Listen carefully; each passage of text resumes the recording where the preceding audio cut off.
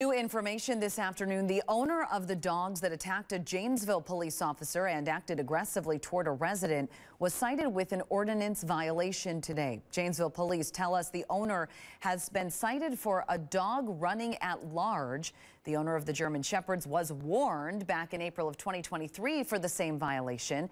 Police say that person did install a fence after the warning, but one of the dogs was able to move the latch to open the gate to the fence this week.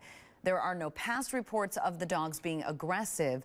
Police say the outcome of the incident is tragic and want to remind residents to make sure your dogs are properly secured when outside of your home.